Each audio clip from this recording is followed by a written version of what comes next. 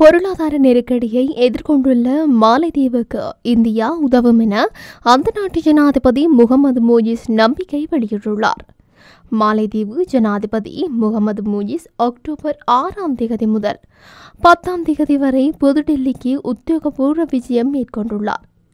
India தங்கள் நிதி நிலைமையை முழுமையாக அறிந்திருக்கின்றது என்றும் தங்களின் மிகப்பெரிய வளர்ச்சி பங்காளிகளில் ஒருவராக சுமையை குறைக்கவும் எதிர்கொள்ளும் சவால்களுக்கு சிறந்த மாற்றும் மற்றும் தீர்வுகளை கண்டறியவும் உதவும் என்று மூயிஸ் கூறியுள்ளார். மாலத்தீவின் பொருளாதாரத்தை கருத்தில் கொண்டு அவர் இந்தியாவிடம் நிதியுதவி கோருவார் என்றும் எதிர்பார்க்கப்படுகின்றது. இந்திய பிரதமர் மோடியின் லட்சத்தீவு பயணத்தை மாலத்தீவு முன்னாள் அமைச்சர் விமர்சித்தமை கடும் சர்ச்சையை ஏற்படுத்தியது. இதன் பின்னர் இந்தியர்கள் பலரும் மாலதீவுக்கு பயணம் மேற்கொள்வது குறைவடைந்தது. சீன ஆதரவாளராக கருதப்படும் முயஸ் கடந்த வருடம் நவம்பர் மாதம் பதினேழாம் தேதி மாலைதீவு ஜனாதிபதியாக பதவியேற்ற சில மணி நேரங்களிலேயே இந்திய மாலைதீவு இருதரப்பு உறவுகளை சீர்குலைத்து சுமார் எண்பத்தி எட்டு இந்திய ராணுவ வீரர்களை தனது நாட்டிலிருந்து அகற்றுமாறு உத்தரவிட்டார். மூன்று விமான தளங்களிலிருந்து ராணுவ வீரர்கள் திருப்பி அனுப்பப்பட்டனர். மற்றும் அவர் வழங்கிய கால அவகாசத்திற்கு அதாவது கடந்த மே மாதம் பத்தாம் தேதியன்று இந்திய ராணுவர்கள் அனைவரும் வெளியேறினர். இவ்வாறு தொடர்ச்சியாக இந்தியா மாலைதீவு இடையேயான உறவில் விரிசல் அதிகரித்த நிலையில் இந்தியாவின் புதுடெல்லியில் பிரதமர் மோடியின் பதவியேற்பு விழாவில் கலந்து கொள்வதற்கான அழைப்பை ஏற்று மாலைதீவு ஜனாதிபதி முகமது மூயிஸ் நிகழ்வில் கலந்து கொண்டிருந்தார். அதன் பின்னர் இந்திய மாலைத்தீவு உறவில் இருந்த விரிசல் குறைவடைந்து இந்த நிலையில் அவர் தற்போது இரண்டாவது தடவையாக புதுடெல்லிக்கு விஜயம் மேற்கொண்டுள்ளார். ஈரான் மீது எப்போது வேண்டுமானாலும் தாக்குதலை முன்னெடுக்கலாம் என்ற நிலையில் இஸ்ரேல் உயர் எச்சரிக்கை நிலையில் கொண்டுவரப்பட்டுள்ளதாக தகவல்கள் வெளியாகியுள்ளது. ஹமாஸ் தாக்குதல் தொடுத்த ஓராண்டு நினைவு நாள் நிகழ்ச்சிகள் திங்கட்கிழமை இஸ்ரேலின் முன்னெடுக்கப்பட உள்ளது. ஹமாஸ் படைகள் முன்னெடுத்த தாக்குதலுக்கு பதிலடியாக காசா மீதும் பாலஸ்தீன மக்களுக்கு ஆதரவாக செயல்பட்டதாக குறிப்பிட்ட பெய்ரூட்டில் ஹிஸ்புல்லா படைகள் மீதும் இஸ்ரேல் தாக்குதலை நடத்தி வருகின்றது. லெபனான் தலைநகர் மீது கடுமையான தாக்குதலை நடத்தி வரும் இஸ்ரேல் பொதுமக்களை மொத்தமாக வெளியேறவும் உத்தரவிட்டுள்ளது. இஸ்ரேல் முழுவதும் திங்கட்கிழமை நினைவேந்தல் நிகழ்ச்சிகளை முன்னெடுக்கப்பட உள்ளது. ஹமாஸ் படைகள் தாக்குதல் முன்னெடுத்த பகுதியானது உயர் எச்சரிக்கை நிலையில் கொண்டு வரப்பட்டுள்ளது மேலும் அக்டோபர் ஏழாம் தேதி இந்த ஆண்டும் தாக்குதல் நடக்கலாம் என எதிர்பார்ப்பதாக இஸ்ரேல் அதிகாரிகள் சிலர் தெரிவித்தனர். ஆனால் ஈரானில் திங்கட்கிழமை பகல் ஆறு மணி வரையில் சுமார் ஒன்பது மணி நேரம் அனைத்து விமான சேவைகளையும் ரத்து செய்துள்ளதாக தகவல் வெளியாகியுள்ளது.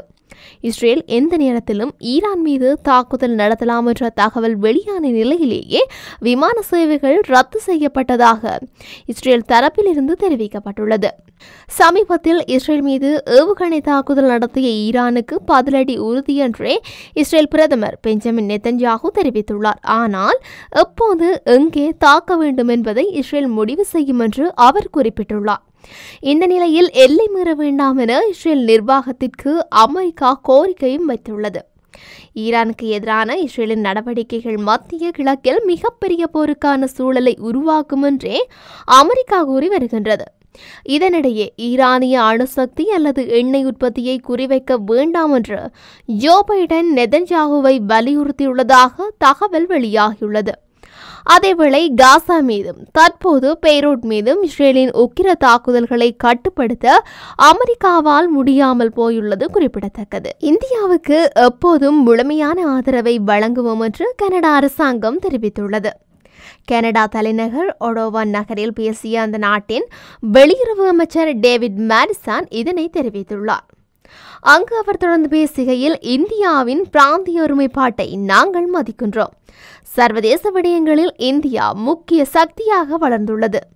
அதற்கேற்றவாறு கனடாவின் கொள்கைகளை சீரமைத்து வருகின்றோம் என்று தெரிவித்துள்ளார். இந்தியா எல்லையில் சீனா ஆக்கிரமிப்பு சர்ச்சை காஷ்மீரில் நடந்து வரும் பயங்கரவாத சம்பவங்கள். சீக்கியர்களுக்கு தனி நாடு கோரும் காலிஸ்தான் பிரிவினைவாதம் உள்ளிட்ட விவகாரங்களை முன்வைத்து கனடா இந்த கருத்தை தெரிவித்துள்ளது. முன்னதாக மூன்று மாதங்களுக்கு முன்பு கனடாவில் வைத்து காலிஸ்தான் பிரிவினைவாதியான நிஜார் கொல்லப்பட்ட விடயத்தில் இந்த அரசாங்கத்திற்கு தொடர்பு உள்ளது என அந்த நாட்டின் பிரதமர் ஜஸ்டின் ட்ரூடோ நாடாளுமன்றத்தில் குற்றம் சாட்டியிருந்தார். இதனால் கனடா இந்தியா இடையே உரசல் போக்கு நிலவி வந்ததும் குறிப்பிடத்தக்கது. இஸ்ரேல் ஹமாஸ் போரின் முதலாம் ஆண்டு நிறைவை முன்னிட்டு இஸ்ரேல் பிரதமர் பெஞ்சமின் நெத்தன்யாகு ஒரு வீடியோ செய்தியை வெளியிட்டிருக்கின்றார். அதில் நம் நாடு ஏழு முனைகளில் போரை நடத்தி வருவதாக பெருமையுடன் கூறியிருக்கின்றார். ஹமாஸ் ஈரான் ஹிஸ்புல்லா மேற்கு கரை பயங்கரவாதிகள் ஏமனின் ஹவுதிகள் மற்றும் ஈராக் சிரியா ஷியா போராளிகளின் தாக்குதல்களிலிருந்து எங்கள் நாட்டை நாங்கள் பாதுகாத்து வருகின்றோம் என்று அவர் தெரிவித்துள்ளார். இஸ்ரேலின் தற்காப்பு உரிமையை மீண்டும் வலியுறுத்திய நெதன்யாகு ஈரானின் பாலிஸ்டிக் ஏவுகணை தாக்குதலுக்கு நிச்சயமாக பழிவாங்குவேன். இஸ்ரேல் நிச்சயம் ஈரானை தாக்கும் என்றும் கூறினார். அதே நேரத்தில் ஈரான் தாக்குதலில் தனது விமானம் தளம் கீழே கூறப்படவில்லை என்று இஸ்ரேலின் பாதுகாப்பு அமைச்சர் ஜோ கேலன் தெரிவித்துள்ளார். ஞாயிற்றுக்கிழமை நியூவாடியம் விமான தளத்திற்கு கேலன் விஜயம் செய்திருந்தார். இந்த விமான தளத்தை ஈரான் கடந்த அக்டோபர் முதலாம் தேதி குறிவைத்து தாக்குதல் நடத்தியது. லெபனானில் இஸ்ரேல் ராணுவம் பெய்ரூட் விமான நிலையம் அருகே சனிக்கிழமை இரவு இஸ்ரேல் ராணுவம் வான்வழி தாக்குதலை நடத்தியது. சில தாக்குதல்கள் விமான நிலையத்திற்கு செல்லும் சாலைகளில் நடந்தன. சில விமான நிலையத்தின் சுவற்றில் நடந்தன.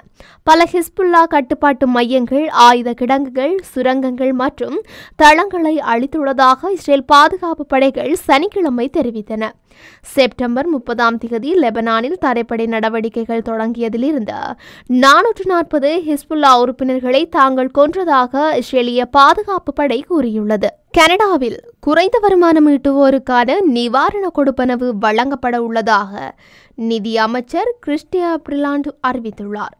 கனடிய மக்களிடம் அறவீடு செய்யப்பட்ட வரித்தொகை இவ்வாறு மீள வழங்கப்பட உள்ளதாக அவர் தெரிவித்துள்ளார்.